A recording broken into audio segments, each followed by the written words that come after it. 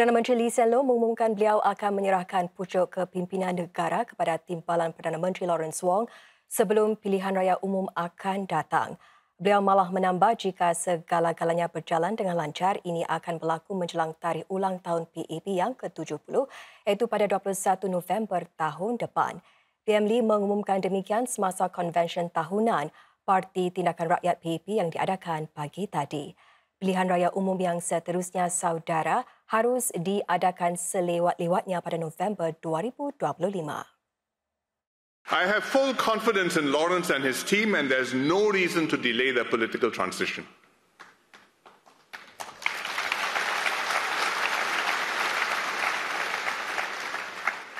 Therefore, I intend to hand over to DPM Lawrence before the next general election.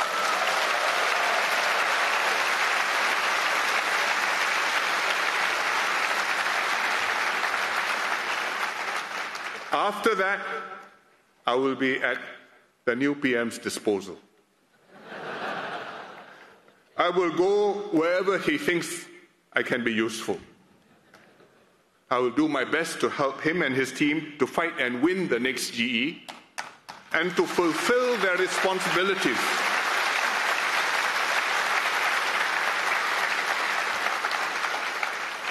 I want to help him fulfill his responsibilities leading the country so that Singapore can continue to succeed beyond me and my 3G minister colleagues for many, many more years to come. Ini merupakan kali pertama PM Lee memberikan garis masa yang cukup jelas berhubung penyerahan kepimpinan negara. Mengenai mengapa penyerahan tampuk kepimpinan dilakukan sebelum pilihan raya akan datang, Lee menjelaskan bahawa ia bagi membolehkan DPM Wong memimpin pasukannya sendiri dan mengetuai parti dalam kempen serta menang dengan mandat sendiri dan memimpin negara ini dengan sokongan penuh rakyat. Whether closing our borders to foreign arrivals, imposing the circuit breaker, pre ordering COVID vaccines, spending more than a billion dollars, sign first, see product later. Draw on reserves to save jobs and save the economy.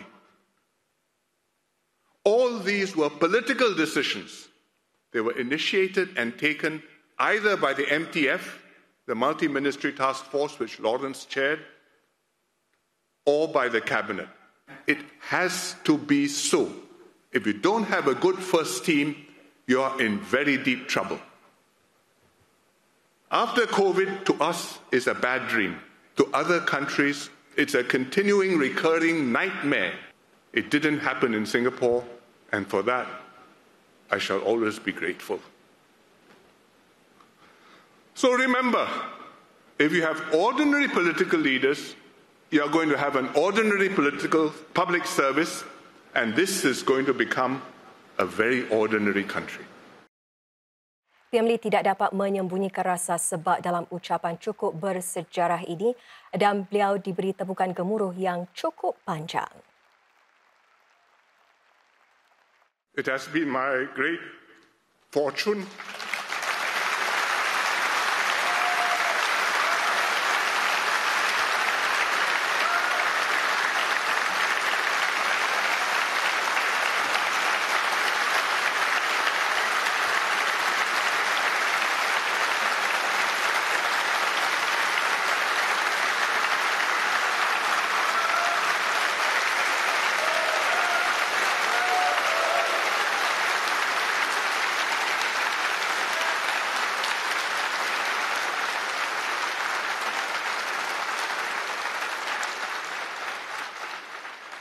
It has been my great fortune and honor to have served the country, first in the SAF and then in the party and government, for all of my adult life.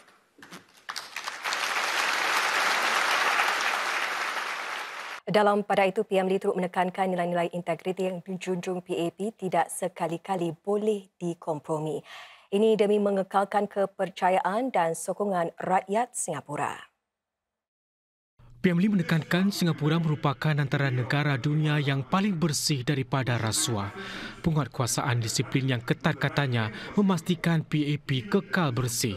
Namun demikian, PM Lee mengingatkan para hadirin bagaimana CPIB menemui kes melibatkan seorang menteri yang kini disiasat. Singapore is a small place.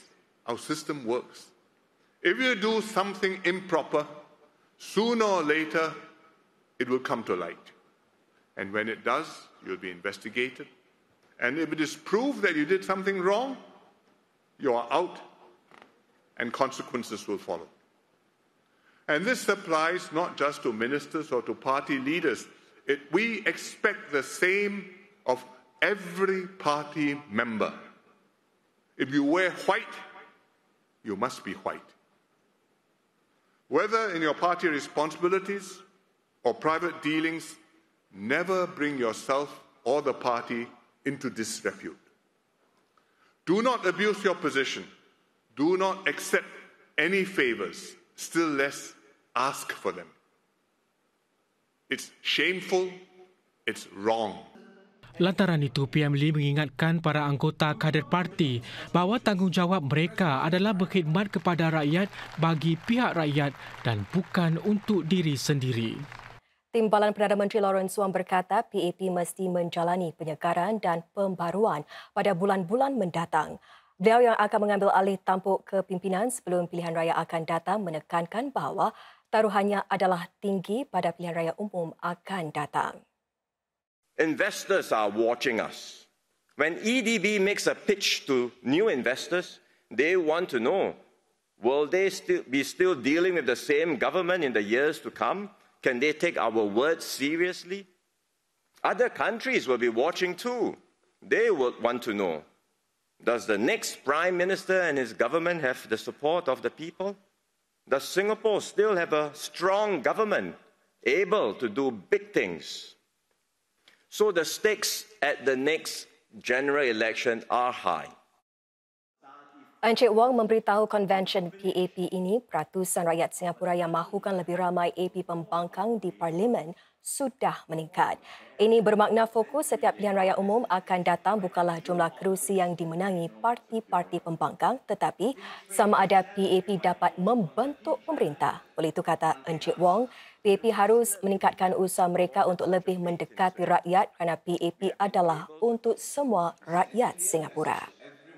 I will have a team of 4G leaders whom I have worked closely with over the years. We are ready to lead. And I will have the advice of Secretary General, SMTO, and other 3G ministers who will continue to serve.